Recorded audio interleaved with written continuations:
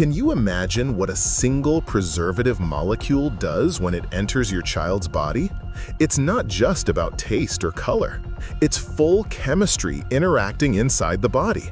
When these substances reach the stomach, the first real effect begins.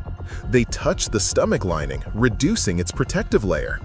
Children are more vulnerable. Their lining is weaker and more sensitive.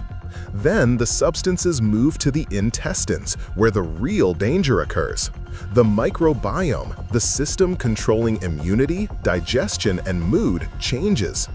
Beneficial bacteria decrease, while harmful bacteria increase. The result? Digestive issues, poor absorption, and mood swings. Once in the bloodstream, the body starts defending itself.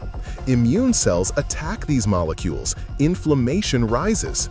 This can increase allergy and skin problems in children. The liver is the final line of defense. It has to break down compounds that aren't part of its natural system. With repetition, the load increases and its performance weakens. Therefore, the risk is doubled for children.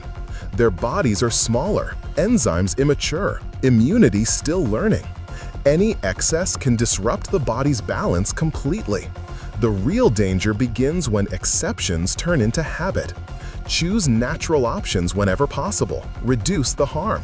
A little awareness can protect an entire life. Every molecule leaves an impact. Choose what protects your child's health.